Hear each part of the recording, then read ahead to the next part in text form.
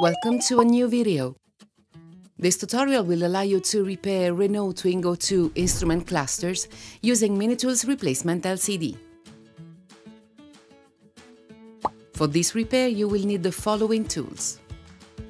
Position the dashboard as shown and with the head of the spudger leverage on the side clips and remove the front cover.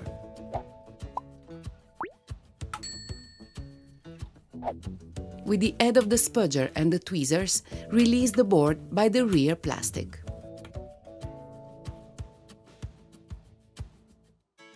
With the curved tip tool, remove the metal frame of the display, which we unhook from its housing with the tweezers.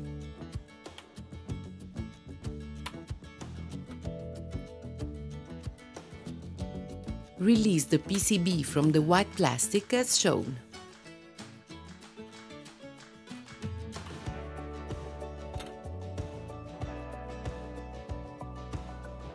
With the hot air desoldering iron at 180 degrees, detach the flat. Place a support under the board and with a flat tip metal tool, carefully remove the graphite from the contacts on the board, making sure not to damage them. Remove any residues and clean with some solvent. With a soldering iron with chisel tip, add some solder on the pads Then clean them carefully.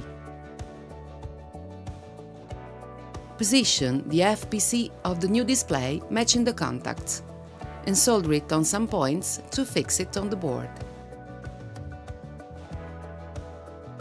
Then solder each pin one at a time. Clean with some solvent. Reattach the white plastic to the board. Peel off the rear protective film from the LCD, which we fit and secure in its housing. Remove the front film as well and put back the metal frame of the display. Reassemble the rear